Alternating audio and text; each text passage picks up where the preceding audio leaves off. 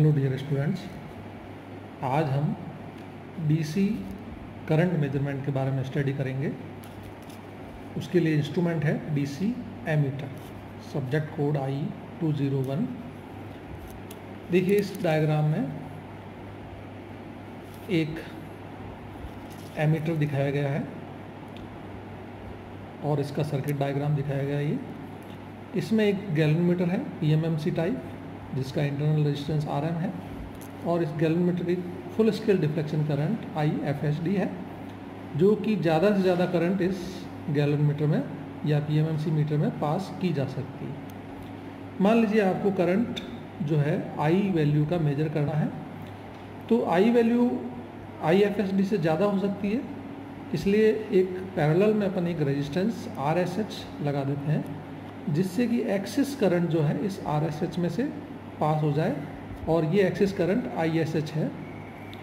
तो अब इस एमीटर सर्किट डिज़ाइन में एच जो वैल्यू है, वो अपन को अननोन है। इसकी वैल्यू अगर अपन फाइंड कर सकें तो अपन आई करंट मेजर करने के लिए अपन एक एमीटर डिज़ाइन कर सकते हैं।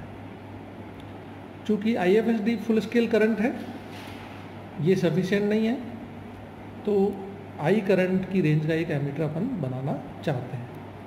देखिए, इस सर्किट को अगर देखें अपन तो इसमें दो रेजिस्टेंस पैरेलल में है आर एम और R S H parallel resistance में अपन जानते हैं कि वोल्टेज जो है बराबर होते हैं, और इसी इक्वेशन को अपन लिख लें।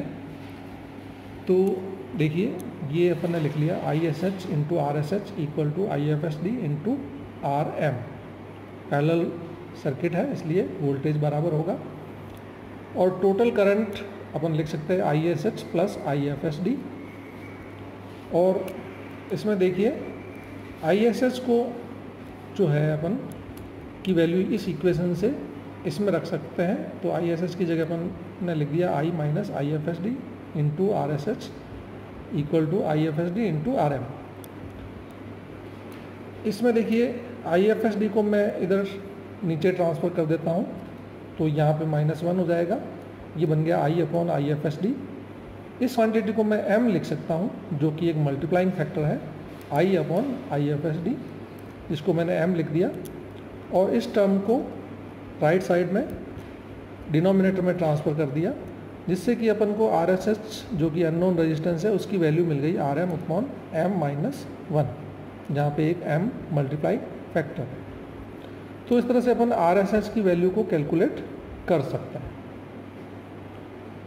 तो जब आर एस एच की वैल्यू अपन को मिल जाएगी तो अपन टोटल करंट आई जो है इस एमीटर से मेजर कर सकेंगे।